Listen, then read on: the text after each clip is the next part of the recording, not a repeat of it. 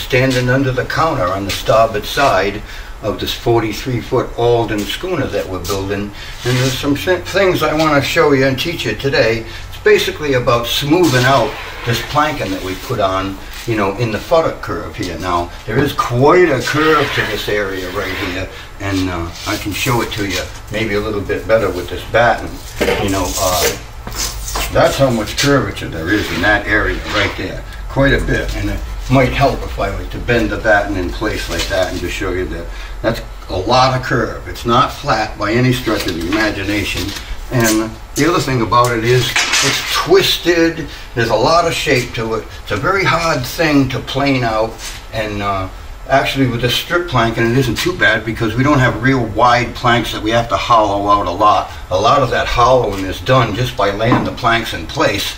And what we're doing at this point is just hollowing the center sections out of the plank and, and getting down to the glue lines. The glue lines are our control lines. So we don't want to plane or get past those because we want it to be nice and fair in this direction, but we also want it to be nice and fair in this direction.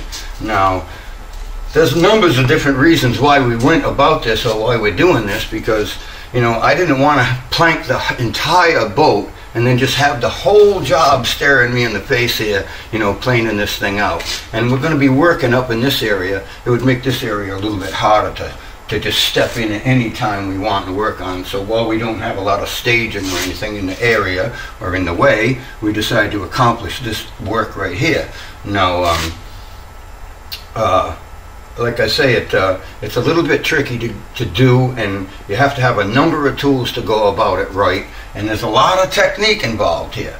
The other reason why we've done this and we wanted to do this is so that when we walk by the boat ourselves, it just looks really nice to us. You know, we don't want it, you know, with all these glue lines showing and all that. It looks a little bit crude, you know, right after you glue it up. So, you know, I think it really looks nice like this.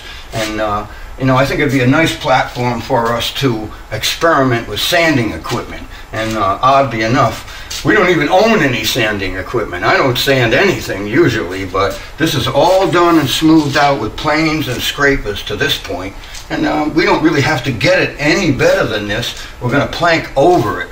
We're just going to line off uh, Carvel planking on top of this strip planking, and we're going to plank over it. So basically, we're just going to draw lines on it. I wanted it smooth enough so that when we draw lines, they come out real nice.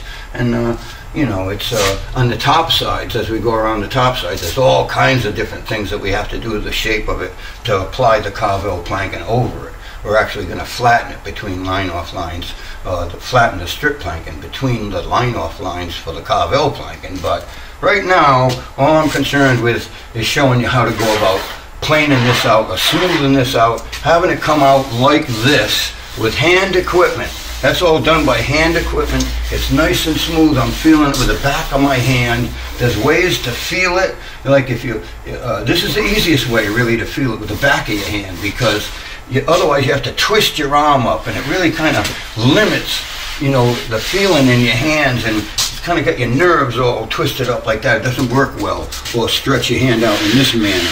But a lot of times I want to feel right in front of me where I'm working. I don't want to feel over here, and I don't want to move over there. So I'm working here. I feel it with the back of my hand, like so. And that really tells the story. And if I find any lumps or bumps or anything like that, I can go into that and take care of it. But the next thing I want to do is just show you some of the equipment I'm using here. I actually start off with these type of planes right here. Now I just call these block planes. I don't know what they're actually called, but uh, I can show you how to adjust them and different things like that. And I'll do all of that possibly in some other videos. I've got this one adjusted the way I want it right now. Here's another one. This one's a little bit different. This one is curved across. It's got a little radius across. It's also got a radius from front to back. So it fits in areas very, very nicely. Now, then I've got these planes here these we used to call transitional planes, and I really don't know exactly what they were called, but uh, they resemble a number five. Today, we call them cordless. You know, they're cordless planes. So we've got five or six cordless planes here. I've got some electric planes. This is an electric plane that I actually curved the bottom. I made a radius in the bottom just with a big giant belt sander because this is just aluminum. And then I made my own blades and all kinds of stuff to get this radius in it. And it'll plane in areas like this, maybe not so much in a really tight area, but in an area like this. But a lot of the problems with this is, like if you get in an area that's too tight, this part of the plane starts dragging on your material, so you can't get at it. So it doesn't work that well. You know, it works great for backing planks out, and that's what I made it for, but it doesn't work that great for something like this. And uh, I think it's best that you uh, accomplish this with hand tools. The next thing you can do when you get into the flatter areas, you can just use a number five plane, you know, in flat areas, or a wooden plane like this, a transitional plane that's flat on the bottom. I've got numbers of different radiuses here. I would start out on the other side back aft. I always plane from my right to the left because I use my right arm. My right arm is trained up for the job, believe me, and my left arm isn't. So I'm going to start out back aft. I'm going to use one of these planes to start. Then I'll get involved with these other planes. And um, there's a few things I want to show you right now. I've got a wooden plane right here. This one's got a flat bottom on it. Now, I'm going to hold it up and put it in this area. And uh, look, it sits there pretty nice. Not bad right there like that. If I was to twist it a little bit like that, now listen, it's rocking like that. That's not the direction to hold the plane against the hull. There's a proper direction to hold the plane against the hull when you're planing. In this area, it's like this. As you get in other areas, you know, it might change a little bit, you know, so you can discover as you're planing what position the plane has to be in to do the work. But you know, as you're planing, you kind of discover that automatically, but you don't have to push the plane in the direction that the plane is headed. You can push the plane, skew the plane across the work this way. You can skew the plane across the work that way, and you can push it directly in line that the plane is headed. So, numbers of different things you can do with it, and uh, then what I do with that afterwards is I'll take a scraper like this is just a red devil scraper and uh, I can show you how to sharpen it. I, I, probably have shown you how to sharpen it before. And uh, we use this in like a double diagonal fashion. It's sharpened to a little radius as well so the corners won't drag. And uh, you know I'll feel an area like this and find maybe a little lumpy spot or something and I can use it like this. The final finish double diagonal like this. And it really smooths it out nice. So quite a few pieces of equipment. I'm going to take you over to the other side and show you how it's done.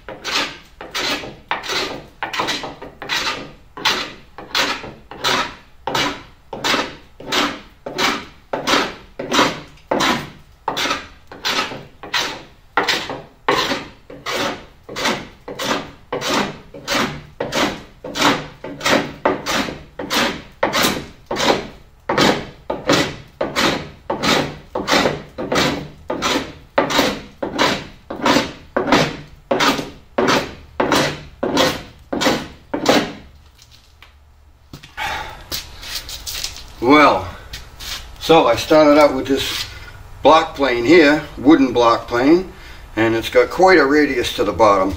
I need quite a radius to get into here. If I had any flatter plane or, or with less radius in it, I wouldn't be able to reach it. So we start out with this, and uh, I can get fairly close to the corner or to the rabbet with it, but Now I can't really get up to it, so what I'm going to do is switch over to this little number 92 rabbet plane and do a little bit of work in this corner before I continue.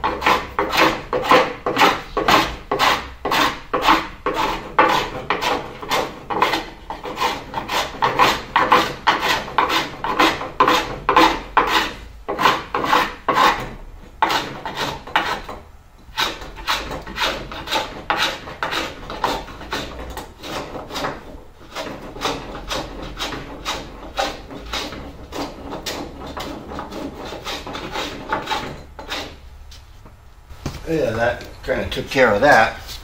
And uh, to get all the way to the rabbet, I'm going to end up using scrapers. But now I'm going to switch over to one of my cordless planes here. Now, this one's got as much radius as any one of them right here.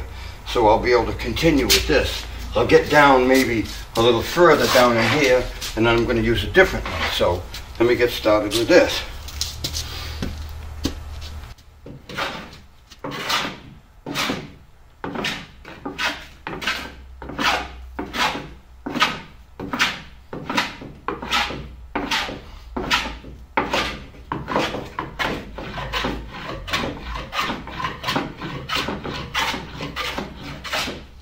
Now this is the most difficult area right here because I've got the rabbet that I'm banging the heel of the plane into. It's the tightest radius of all of it, so if I can do it in here, I can do it anywhere. And besides the fact, this one piece of wood right here has got a very hard spot in it right here. So you have to kind of concentrate on that to make sure that you don't leave that a lump. But that already feels a nice shape right there. Feels really nice right in there. It's got a little bit of finishing to do yet, but now what I'm going to do is move down and take care of some of this area right here. Now, it's kind of like mowing the lawn, you know. You're going to make a stripe, another one right alongside of it, another one right alongside of that. And it's a little tricky because you have to be able to very quickly put get the plane on the right angle so it sits in there properly. Properly, it can't be put up there this way. It can't be put up there this way. It won't cut. It's got to be like this so that it rocks a little bit from uh, heel to toe like that, and then the blade will be in contact with the wood and you can cut.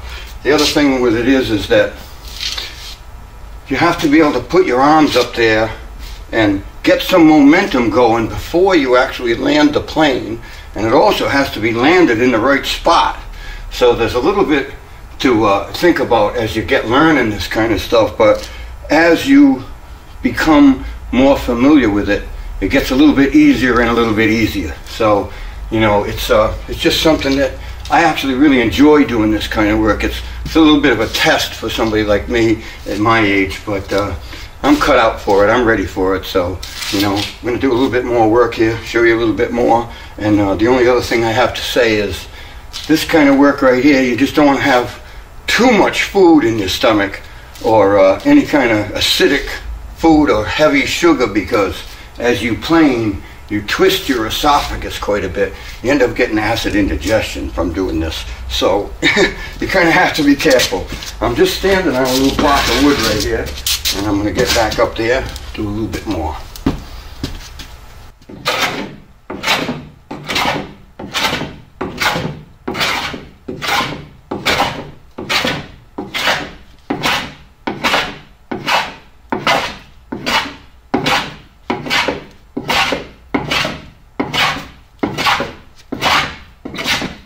I love the sound of the plane when it finally cuts. You know, some strokes don't sound quite as nice as others, but when you make a perfect one, you know, it's like a perfect phone call. You know, it just really sounds great.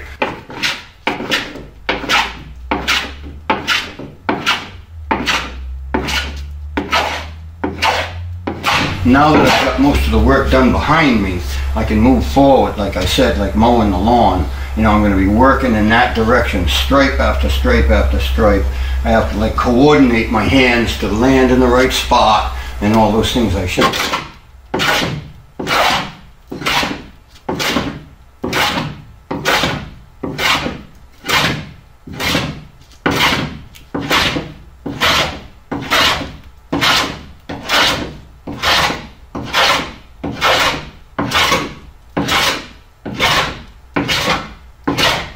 Now, I've almost got to the depth I need to get to, but I think I can go over this area again. And when you see the blue line start to fade out, and you know you've got to the depth that you're going to get to. The blue lines are your depth and longitudinal control.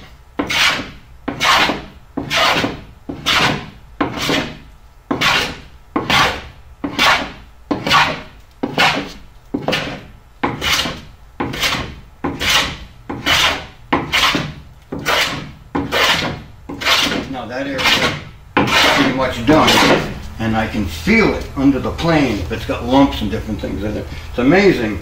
Your, your nerves are, are amazing. You can feel right through this plane and feel lumps and different things, whether the plane is chattering or bouncing up and down this way or whatever it is, but you can feel it, and once you've gotten it right, then you can pretty much tell yourself that when you touch that, it's going to feel right. And it does. So I'm going to move up a little bit more and keep going.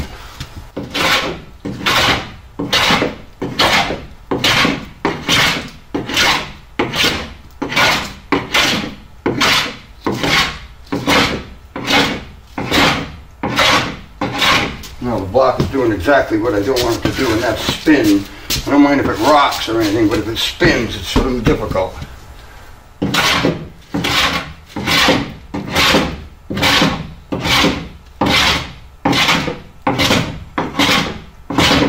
Can feel there's a plank right in there. That one's a little proud for whatever reason. So I'm going to concentrate on that area a little bit and take that one. We're talking, you know, a 32nd of an inch or a 64th even. It's really nothing at all.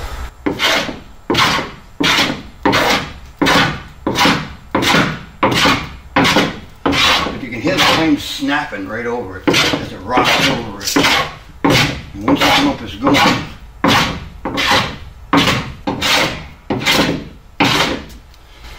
Well, can you imagine doing an entire boat like this? And uh, this is exactly the way it was done many years ago. There would be people that all they did was this sparing the planes and, and uh, they accomplished a tremendous amount of work. They must have been strong guys.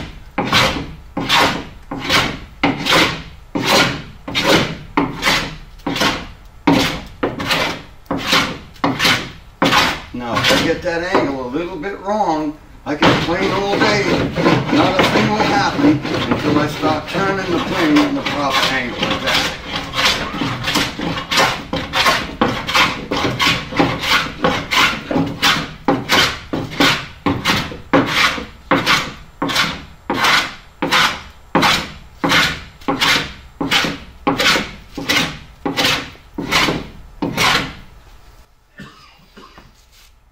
Now, I need a tiny little rest because I'm getting out of breath. And the other thing it is that you have to do is make sure that you keep breathing while you're working because a lot of people, including myself, will tend to hold their breath while they're ex- exerting themselves.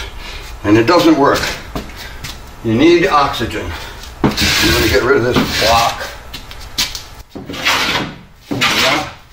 Working overhead here, so.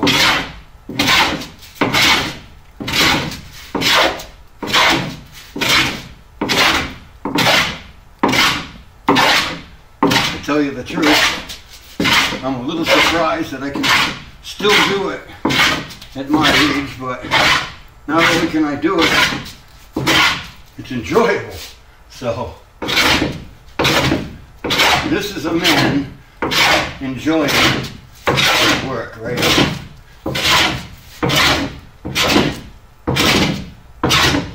Now I'm going to put this plane down and I'm going to pick up another one that's got less radius. This one's got a lot less radius actually. Let me see if I got the right one. Actually, uh, I don't. It's this one. Here we go. All right, this one's got less radius and I'm moving into an area that's got less curvature. So I think this plane will work really nicely up in here.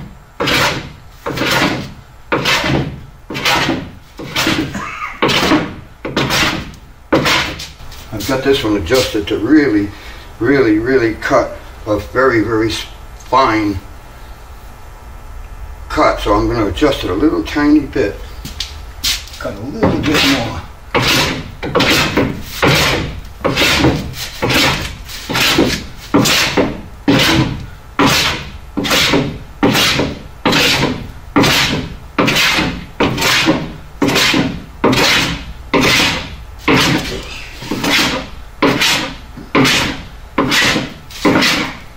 get back into that curvature, it really makes it more and more important that you get that plane in the right area, especially, or the right angle, especially because this one's got less curvature, so it's less forgiving, quite a bit less forgiving. You've got to get it on the right angle, but like I said, you don't have to push it on that angle. You can, and it cuts, but I kind of skew it across, like that. It makes it easier to move, just easier to get to work That area I'm having a tough time getting to because it's rounded a little bit more than this plane will be. Now up in this area, it's starting to cut.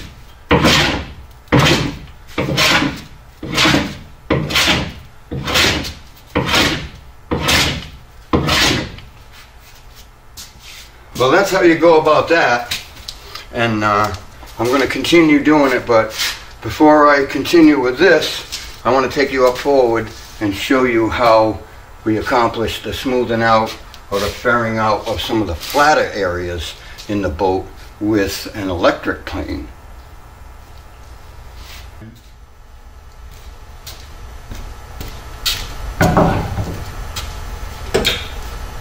All right, now I'm going to show you how to do these flat areas with an electric plane. Now some of the same things apply that I taught you back aft, especially about the direction of the plane on the surface, because if I put this plane down this way, it's rocking. And if I put it down this way, it lays nice and flat. So, you know, there's a proper direction to have the plane with this particular plane, mostly I push the plane in the direction that the plane is laying. I don't skew the plane across. You can, but it works better if you just push it in the direction you're going. So, you know, I mean, this stuff was all done by hand, mostly with like a number five plane, you know, a number five, obviously you have to push it yourself like you did back aft, but in the flat areas, it does push a little bit harder. It's a little bit harder work, you know, even though it's not a futtock curve or inside curve like that, planing on the flat areas is a little bit harder to do. So, you know, the electric solves that problem. And, uh, you know, I love this little plane. It works great. It comes out nice and smooth, very close to being able to just sand it very slightly if it was a finished surface and it, it'd be paintable just like that. So let me show you this.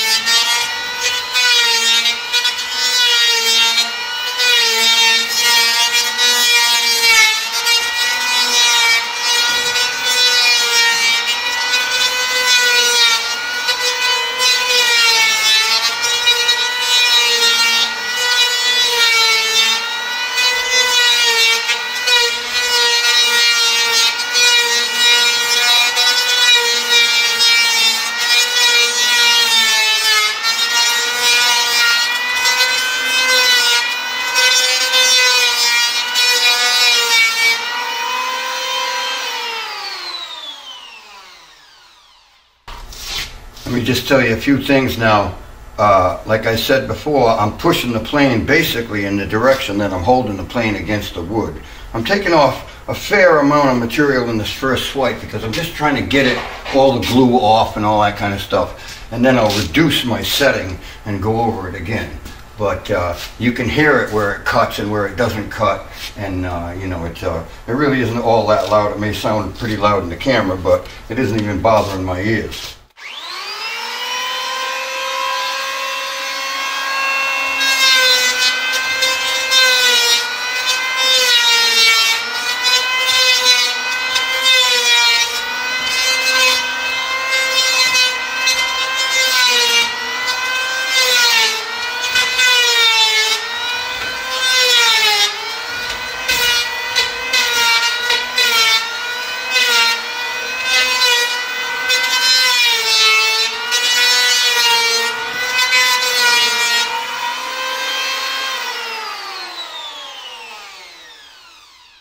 So this tool accomplishes the task pretty rapidly and uh, it's pretty much a pleasure to use because, well, for a number of reasons. One of the reasons is it makes chips, not really dust.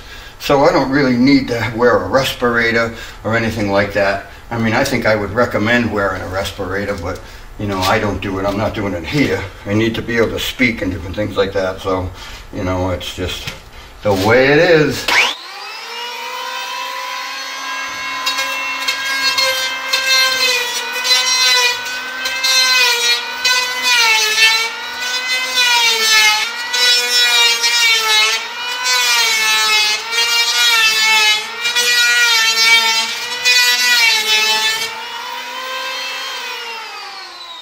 The other thing about this work right here is I'm doing this really all visually. You know, I, I don't even know where I've been. I'm not trying to keep track of it like mowing the lawn, one stripe alongside the other. I'm letting it develop.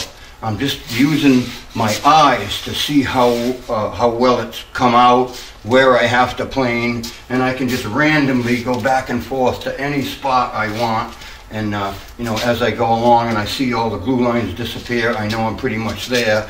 And then, like I said, I'll go over that same area just a little bit more, but I'll reduce the plane's depth of cut before I do it. So let me go forward just a little bit more, and then I'll replane this area right here.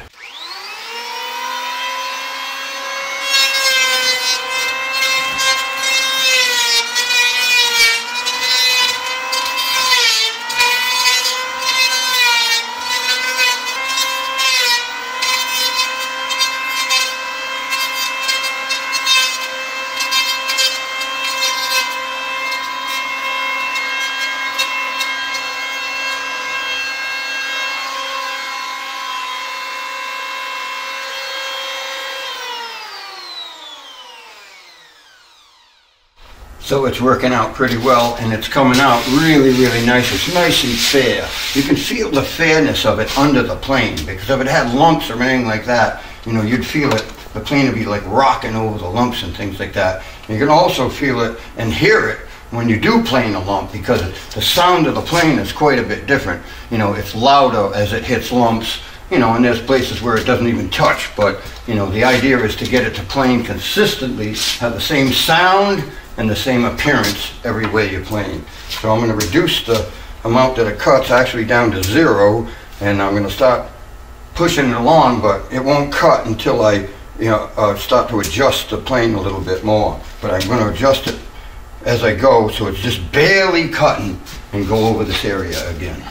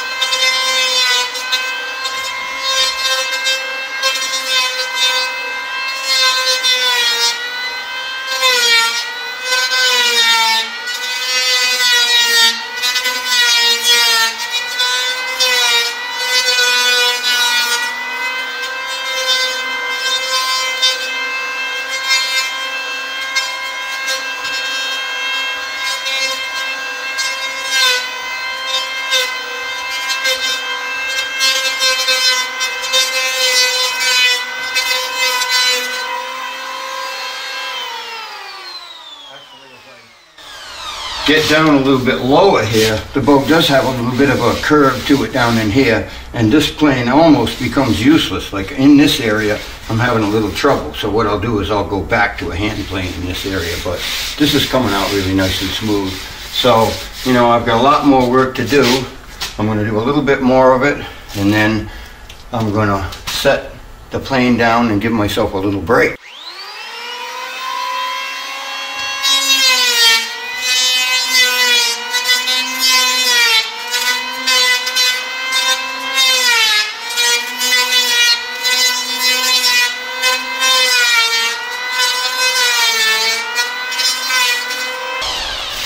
So I'd just like to say that uh, these electric planes are really it as far as this type of work goes.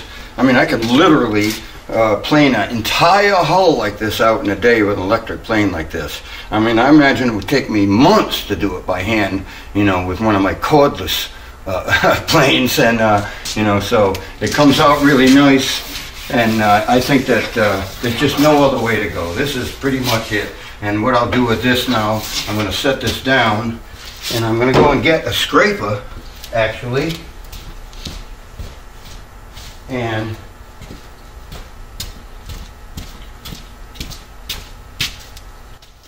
I would actually double diagonal scrape this area. I'm going to scrape in this direction, take some of those little ridges off that the electric plane needs. You can hear them right there going across it. Then I'll scrape it on a different angle, like this. So you double diagonal scraping. And this makes any lumps or any textures or anything like that show up right away. And uh, it smooths them right out. You know, if you have a lump or something like that that's a little bit too big, you know, I would scrape it some, feel it, feel it with the back of my hand, which really works nice, like I said. And then if I thought there was a place that needed a little bit more planing or something like that, I would do it. But pretty much, that's the way it's done right there. Now, you can see that I've got the stuff all over me. You know, it just happens to me. I've been wearing this same vest for I don't know how many years. And I think down in these pockets, you could probably find chips from any number of boats I've worked on over the years. You know, some of the 12 meter fleet is in my pockets here. Numbers of different trumpies, all kinds of skiffs, all kinds of stuff. It all ends up here in my pockets.